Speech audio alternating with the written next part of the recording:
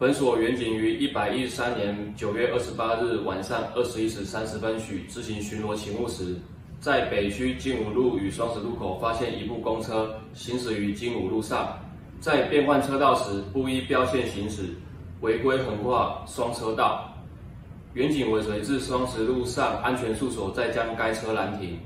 并依《道路交通管理处罚条例》第四十八条第二款。汽车驾驶人转弯或变换车道时，不依标志标线号志指示行驶，处新台币六百元以上一千八百元以下罚款，当场予以告发。